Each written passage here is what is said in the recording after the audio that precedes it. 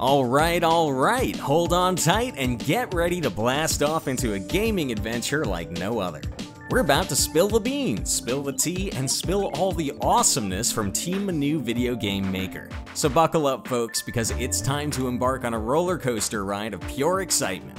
Now you might be wondering, what's the big deal? Oh, trust us, this is the moment you've been waiting for, and it's gonna blow your mind. Prepare for a world of epic proportions, where fun and thrills collide in a symphony of pure captivation. Today, we're diving into the first part of our exciting video series. Get ready for a thrilling adventure as we explore new horizons together. But hold on tight, because the fun doesn't end here. Next week, we'll be back with the second part, packed with even more surprises and discoveries. So make sure to stay tuned and keep an eye out for updates. Oh, fellow creators, prepare yourselves for a pixel-packed adventure filled with laughs, fun, and 2D magic.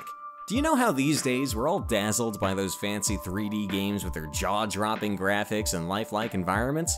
But guess what? A game doesn't need all those high-res textures and 3D models to be a total blast.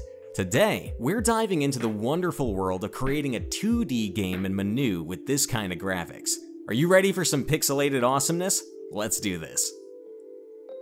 But before we start, we suggest you subscribe to our channel and like this video. If your friends also dream of creating games or want to try their hand at being a developer, share the link to this video with them. You're sure it will be helpful for you.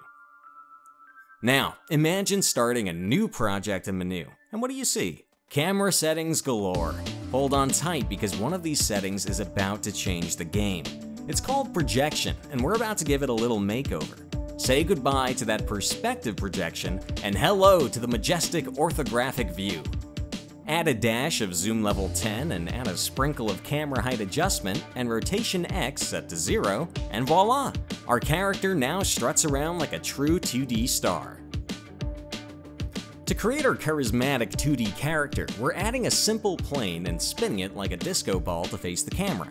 We'll shrink it down just a tad so our character feels comfortable in its own pixelated skin. Here's the secret sauce, friends. Manu's got a super cool snapping feature. And just imagine our objects magnetically attracted to each other, forming a symphony of pixels. Click the middle option of the gizmo, set your custom grid size, and let the snapping party begin. Adjust the character's position with a few gentle drags to the grid, or show off your precision skills in the position settings. Now, our main character's mesh is getting a break. No hard feelings though, time to welcome the new kid on the block. Say hello to our new material, basic material for a 2D superstar. And hey, wanna know the easiest way to animate a 2D character? You got it, a sprite sheet containing all the animations. Import one and watch the magic unfold. Just adjust the tiling and offset to show one frame at a time. The color tint and cutout opacity are like spices to customize your character's flavor. Whoops, our character can move, but there's no animation party yet. Time to throw the biggest animation bash ever. We're creating a new animation called Idle and importing our character into the timeline. Get ready for the animation magic, because it's all about adjusting that texture offset. Bring on the horizontal texture offset U and the vertical offset V, and get those frames sliding. Let's give our character some groove with the second row of the sprite sheet by adding the value of 0.33 to the offset V. Fancy, huh? And to keep the dance going, we're selecting the next horizontal frame every 0.1 seconds by adding the value to origin plus 0.1. Time to hit the dance floor character style. To make this animation come to life, we've got to include it in the idle animation that's already set up in the animation states. It's like adding a secret ingredient to a recipe for awesomeness. Now, we're going to switch things up a bit. Say goodbye to the idle animation of the 3D character, and say hello to the spiffy idle animation of our 2D character. Time to let the 2D stars shine. Next up, we need a character with some serious speed. Creating a run animation is as easy as duplicating the idle one, giving it a cool new name, and making just one tweak. It's like giving your character a turbo boost.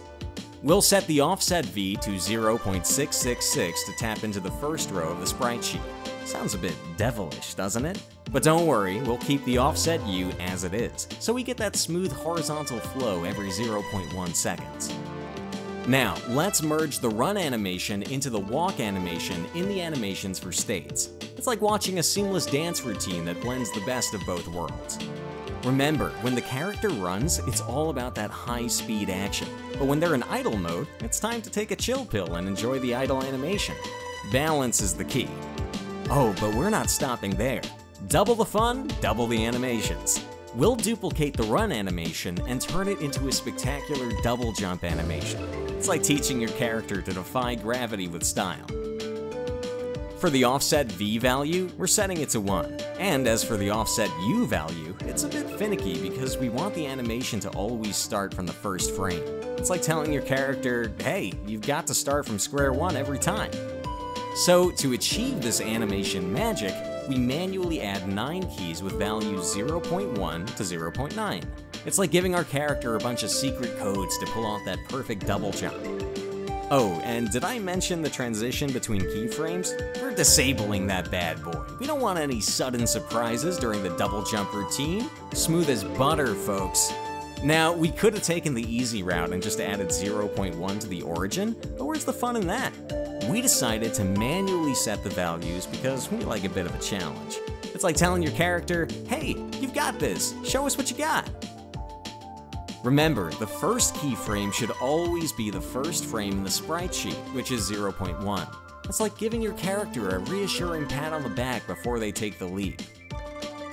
And once again, we're merging the double jump animation into the animations for states. It's like a double jump extravaganza, twice the fun, twice the action. Oh, don't you worry, our characters got moves for days. Running, jumping, and rolling like a pixel acrobat. It's like watching the Olympics in a 2D universe. Alright, let's take a break from the dance floor and set the stage. Visualize the character's movement with a couple of snazzy tiles. We're making the floor invisible and its position takes the simple planes, ready to face the camera with style. Step 1. We're playing the mad scientist and creating a brand new basic material. It's like concocting a secret sauce for our digital masterpiece. Now, let's spice things up. We're bringing in a fabulous texture to add some flavor to our creation. It's like giving our character a stylish outfit upgrade. But wait, there's more. We've got options, my friend. We could have gone all out and chosen a tile sheet, but just for kicks and giggles, we're going with a single tile texture. Who needs a whole puzzle when you can have just one perfect piece? And guess what? More snapping fun. Duplicate those tiles and place them like puzzle pieces to create a stunning background. You're the Picasso of pixels now. But uh-oh, when our character runs in the opposite direction. Disappearing act, not cool. Time for a character intervention. We set his speed and the horizontal jump speed to 5, his jump height to 1, and the double jump to 2. That said, I want to point out that our task is not to send our character to the stars, but merely to adjust the height of the jump. Our character's running slower, jumping lower, but still having a blast. And who's hiding that character's back? Plane culling, you sneaky trickster. But don't fret, we've got a fix. We duplicate the character and then we rotate to 180. Drum roll, please. A 180 degree spin. Ta-da! Backside revealed. And just for the grand finale, a flipped version of the sprite sheet for that cool forward roll.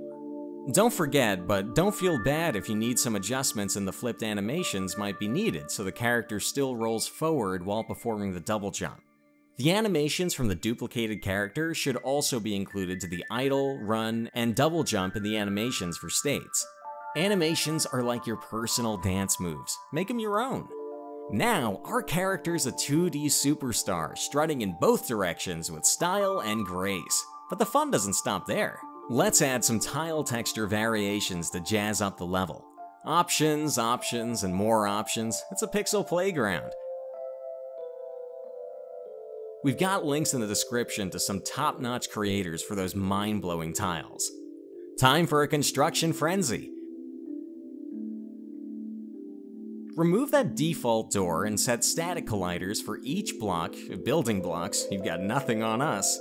With the snapping feature in Manu, we'll build a level that'll make players go, wow, I never knew pixels could be this much fun. And there you have it, a pixel perfect adventure. Let your imagination run wild, unleash your creativity, and create a 2D game that'll charm players like never before. So, gather your pixels, put on your game dev hats, and let's rock this 2D wonderland. And with you was the Manu Project team. Don't forget to subscribe to the channel. You can leave your comments and questions below this video. We are happy to respond to your messages. And don't forget that becoming a game creator is easier than you think. See you later.